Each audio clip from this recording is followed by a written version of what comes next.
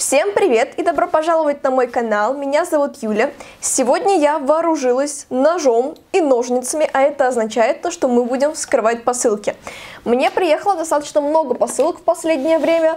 Вот столько это Литуаль, Beauty Bay, посылка от бренда Alex Skin, Озон и также вот такой вот страшный пакет от Wildberries. Да-да, Wildberries мне присылает посылки именно вот в таких страшных пакетах. Я не знаю, откуда бьюти-блогеры берут красивые фиолетовые пакеты с Wildberries. Мне в таких не привозят. В общем, если вам интересно, то обязательно продолжайте смотреть, а мы поехали! Э, давайте начнем вскрытие с пакета Wildberries, потому что там находится палетка теней, которую я жду уже очень давно. Я буквально месяц заходила и каждый день смотрела на эту палетку, настолько сильно мне ее хотелось. Поэтому давайте начнем со страшного пакета. Итак, в пакете у меня была сама палетка, которую мы откроем чуть-чуть попозже, и два вот таких вот запакованных средства. Что это за средство? Дело в том, что я в последнее время увлеклась э, чтением составов, перерыла всю свою косметику, уходовую, конечно же, и обнаружила то, что есть много средств, которые либо просрочены, либо которые мне не подходят. Я стала теперь вести учет этих средств, я буквально теперь записываю э, в файлик в Excel э, средства, его состав, хороший там или плохой состав, срок годности, когда закончится, и также с какой срок годности у меня остался после вскрытия. В общем, я теперь провожу большую работу, и я решила то, что мне нужно поменять мой уход на более натуральный и посмотреть, уйдут ли у меня воспаления. Собственно, с этой целью я и докупила вот эти два средства. Итак, первое, что я взяла, это была Леврана, мицеллярная вода с ромашкой. Взяла ее, потому что у нее натуральный состав, и она достаточно недорого стоила. Так что буду скоро проверять, как моя кожа будет реагировать на натуральный уход. И второе, что я взяла, это пенка для умывания от бренда Sativa, пенка номер 53.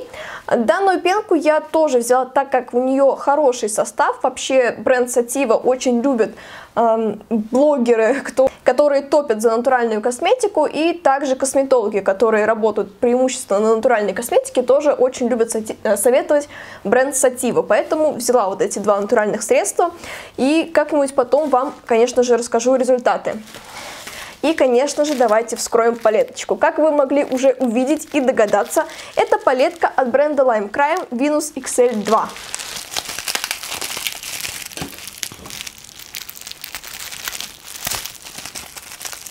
Вот так выглядит сама палеточка. Именно ее я так долго ждала и так долго хотела. Я сначала вообще очень удивилась тому, когда вышла эта палетка, удивилась этой странной зеленой гамме, думала, да кому она вообще понравится. Потом появились первые отзывы, где люди сказали то, что палетка действительно нравится, что она классная, но примерно год прошел, может полтора с тех пор, и меня, она, и меня она так и не трогала, пока в один момент мне что-то не шарахнуло по башке, и я не решила то, что мне нужна эта палетка. И вот я смотрю на эту зеленую гамму и радуюсь. Мне настолько надоела вся эта рыжая-розовая гамма, сказала девушка с рыжим макияжем, что захотелось вот чего-то такого. Я взяла, собственно, данную палетку именно на Wildberries, потому что там на нее была солидная скидка. Так, эта палетка стоит примерно 5000 рублей, а на Wildberries была скидка на эту палетку, и плюс была моя персональная скидка. И таким образом я взяла эту палетку примерно за 3700-3800, что очень даже приятно. Давайте сделаем пару сводчей этой палетки, потому что ну, настолько она мило, красиво выглядит, что, на мой взгляд, здесь без сводчей просто нельзя обойтись. Вот я просвочила три шиммерных оттенка. На самом деле, пока что по консистенции мне кажется то, что шиммеры достаточно суховатые. И пока что я совсем не поняла, чему так все восторгаются. Но, согласитесь, надо сначала, конечно же, нанести данные тени на себя, прежде чем что-то подобное вообще утверждать. Еще один шиммер, тоже зелененький. И знаете, несмотря на то, что кажется, что данные шиммеры суховаты по текстуре, на самом деле наносились они на сводче очень даже легко. То есть они буквально чуть ли не перепрыгивали сами на мою кожу, и мне не приходилось 30 раз их наслаивать сейчас для этих сводчей. Так что, быть может, и все с этими тенями хорошо. В общем, их наверняка нужно пробовать сначала, прежде чем что-либо утверждать. А вот здесь вот я сделала уже в сводче матовых оттенков. Матовые оттенки, конечно, по-моему, шикарные. Они даже на сводче нанеслись настолько просто, легко, настолько пигментированно просто безумно красивые цвета. И я сейчас смотрю на эти цвета, и знаете, они все такие сложный. Нельзя сказать то, что этот цвет, он какой-то банально простой. Все цвета какие-то многогранные. Даже на сводчах это видно. Вот этот вот красивый шиммер, он не только зеленый, у него как будто бы есть немножечко такой светлый какой-то дуохром. Здесь в коричневом шиммере тоже какой-то дуохром прослеживается и как будто фиолетовые фиолетовое сияние, фиолетовые вкрапления. Вот этот вот шиммер, который вообще кажется каким-то никаким, на самом деле на свету рефлексирует, вот как у Huda Beauty, немножечко таким, знаете, зеркальным сиянием. Матовый тоже сложный, розовый, красивый, он насыщенный, он глубокий. Вот этот нежно-зеленый, он тоже в жизни смотрится очень таким, знаете, многогранным тоже. И вот этот зеленый очень на самом деле красивый.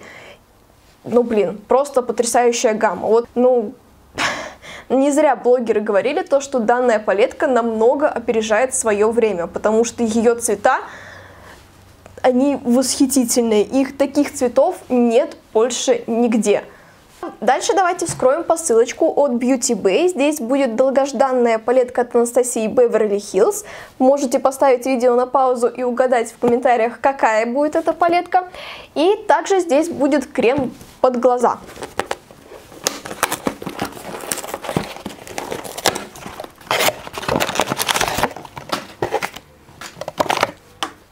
Итак, крем под глаза, это крем от Марио Бадеско. Очень сильно рекомендовал данный крем Марк Кауфман. Он во многих своих видео про бюджетный уход рекомендовал данный крем как один из лучших для зоны под глазами. Но, честно говоря, данный крем я бы не назвала бюджетным. Вот здесь в инвойсе я вижу то, что крем стоит 1352 рубля. 1300 рублей, согласитесь, это все же не бюджетно. Бюджетно это до 500 рублей или хотя бы до 1000 а тут 1300. Ну, не знаю. В любом случае, крем нужно проверять, смотреть. И когда-нибудь я вам о нем, конечно же, тоже расскажу. А палетка теней оказалась палетка от Carly Bible. Я ее взяла тоже на скидках, она мне обошлась 2800 рублей.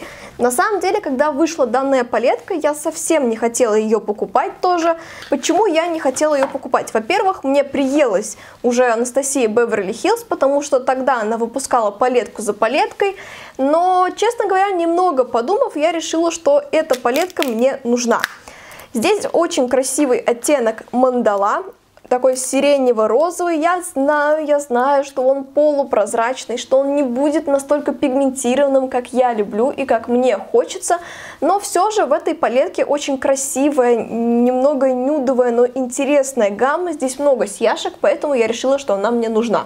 Первое, что я могу отметить в этой палетке, честно говоря, это упаковка. Потому что упаковка не могу согласиться с блогерами, что она красивая или что она хорошая. В других палетках Анастасии Беверли Хиллз хорошая упаковка, к ней нет никаких претензий, но здесь, здесь какой-то Здесь какая-то картонка, причем она очень некачественная, и когда я беру ее в руки, она очень жесткая, она жестко открывается. В общем, честно говоря, упаковка здесь прям-таки говеная. Анастасия Беверли Хиллз обычно делает лучшие упаковки, а смотрится это сейчас, откровенно говоря, не как люкс, и чувствуется в руках это не как люкс. Давайте, конечно же, просводчим эту палетку, потому что цвета здесь нереально красивые, и, конечно же, хочется запустить туда свои ручоночки. А вот и сводчи этой палетки, конечно же, я нанесла в первую очередь сияшки, потому что сияшки это самое интересное ну, блин, на, по мой взгляд, очень даже на самом деле крутые оттенки и крутое качество. Все оттенки не были сухими, они наносились именно как маслица, и даже оттенок мандалаза, который я переживаю больше всего, смотрится, по крайней мере, на сводче достаточно пигментированным. Конечно же, то, что он смотрится пигментированным на сводче, не означает то, что он будет таким же на глазах, но это, по крайней мере, многообещающе. И что уже я замечаю, например, по оттенку Libra, вот этому красивому коричневому, такому серому, то, что тени эти достаточно рыхлые, и они будут, наверное, осыпаться все же чуть больше, чем в других палетках. И также давайте обязательно просвочим несколько матовых оттенков. Здесь достаточно интересные матовые.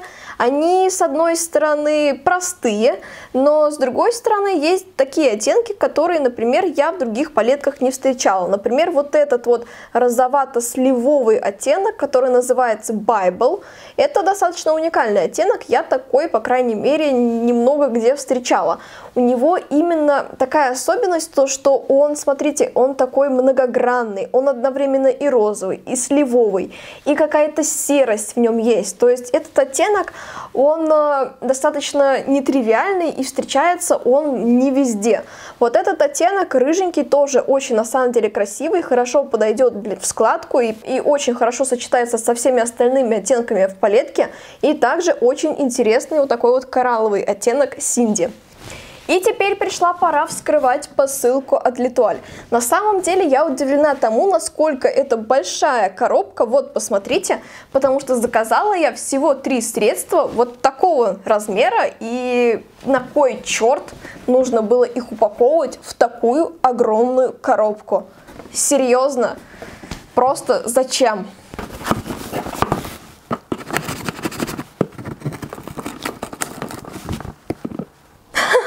Ну, как я и предполагала. Вот, зацените, пол коробки пустые. Даже не половина, это большая часть коробки пустые. Ну зачем? У вас что, не было коробки меньшего размера или тваль? Серьезно? Окей. Пакетик. И все средства, что я заказала. Итак, заказала я здесь три средства от бренда The Balm. Это хайлайтер Мэри Лу, это бронзер Багама Мама и также это румяна Hot Мама. Вы можете меня спросить, на кой черт мне все эти средства? Что, у тебя мало хайлайтеров, бронзеров, румян? Нет, на самом деле у меня их достаточно много, так что хватит на всю жизнь. Но я выбрала именно эти три средства, потому что в них нет талька. Итак, давайте, пожалуй, начнем с хайлайтера Mary Lou. Это самый знаменитый, самый интересный хайлайтер. Все ему уже давным-давно поют оды. И давайте мы с вами тоже его просвотчим и посмотрим.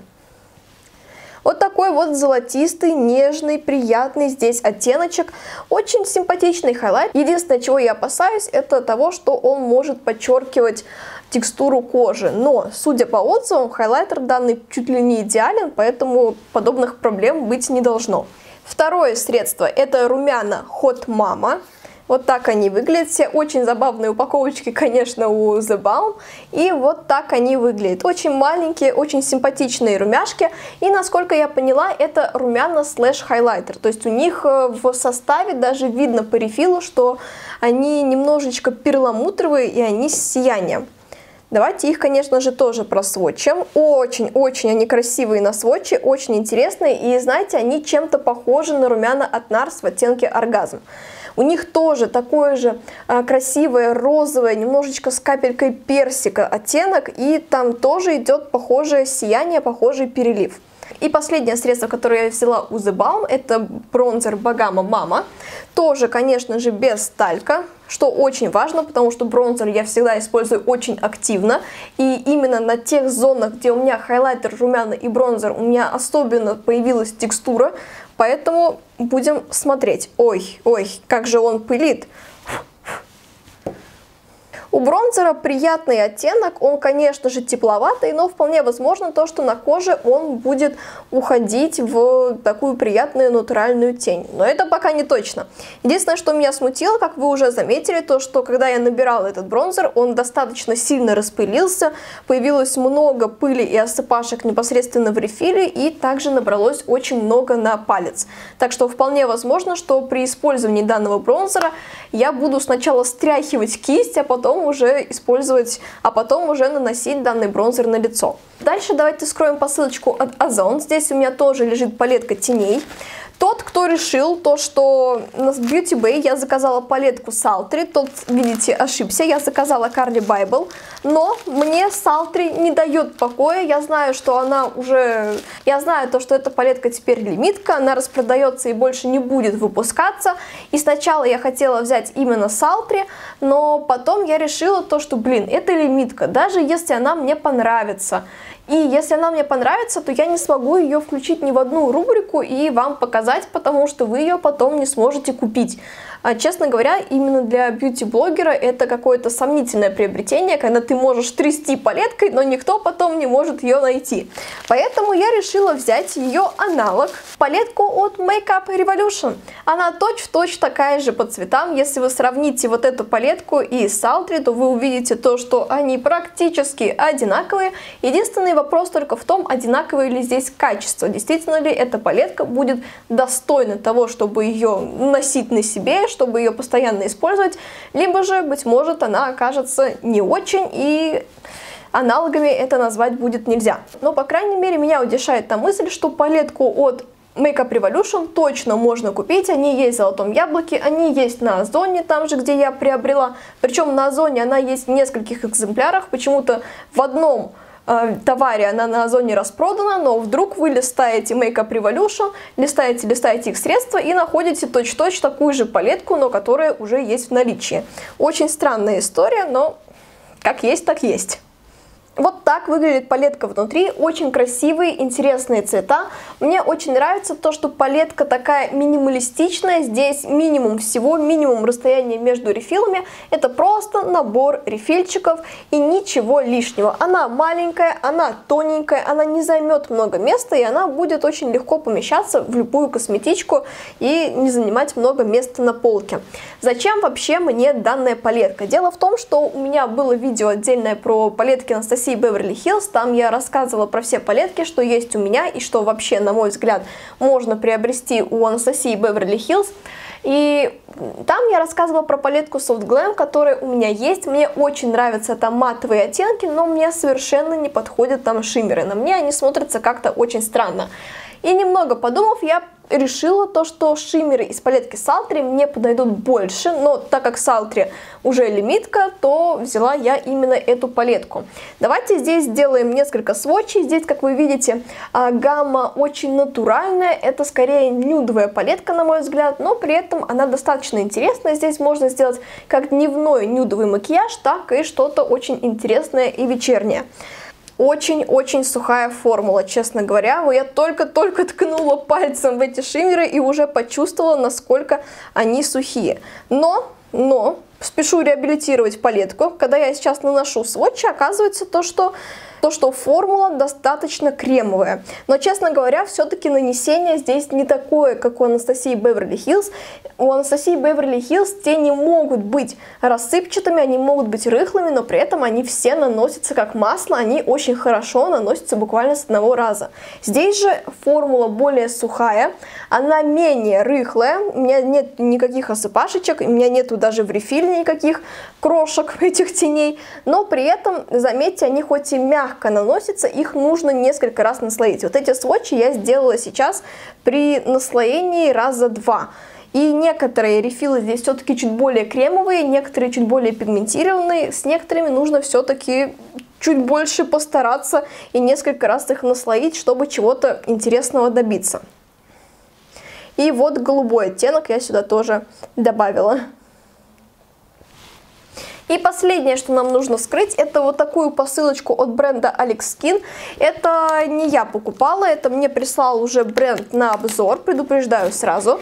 Но я всегда всем брендам, которые хотят мне что-то прислать, пишу то, что мое мнение всегда честное, и я буду рассказывать о продукте только... И я буду рассказывать о средстве только правду. Очень, кстати, приятно чем-то пахнет. Наверное, немного странно нюхать посылки, но извините, я человек-запах.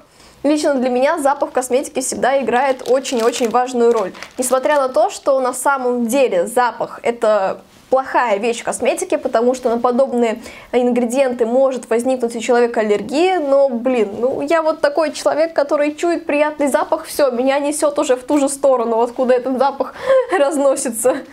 Здесь нам вложили такую симпатичную карточку, И что же у нас за маска? Что за маска? Давайте посмотрим. Ага, вот она маска такая симпатичная, она называется Pure and Shine, и это маска мгновенный антистресс для тусклой кожи лица. Маска должна выравнивать цвет лица и также придавать коже сияние. Вот такая симпатичная коробочка. И дальше, насколько я понимаю, внутри должна быть сама маска и также кисть. А где же кисть? А, внизу кисть. Вот, смотрите, вот такая здесь кисть для нанесения, собственно, данной маски. Здесь очень мягкий, нежный ворс. И у самой маски очень интересное оформление. Вот, посмотрите, она такого, она такой странной формы, но при этом, согласитесь, выглядит очень забавно. Кстати, очень приятная упаковка. Она она матовая, но при этом она тактильно приятная. В общем, не знаю, мне очень заходит вот эта упаковка. Вы только посмотрите, она такой странной, но интересной геометрической формы со сглаженными углами. Мне кажется, то, что дизайнеры постарались на ура. Это очень и очень красиво смотрится. Внутри есть защитная крышечка. И вот так маска выглядит внутри. Вот он, вот он откуда запах-то шел, вот он. Очень приятный, нежный запах, он именно такой, знаете, нежно-сладковатый запах сладких ягод, я даже так скажу. Но при этом запах очень ненавязчивый, что очень хорошо. Мне, знаете, напоминает данный запах смесь малины и голубики. Вот странное такое сочетание, но как есть. В общем, маску обязательно нужно пробовать, и когда-нибудь в ближайших видео я вам, конечно же, расскажу про результат. Ну что ж, а на этом все. Большое спасибо всем, кто досмотрел это видео до конца. Очень надеюсь, что оно вам понравилось. Если это так, то ставьте лайк, подписывайтесь на канал и всем пока-пока.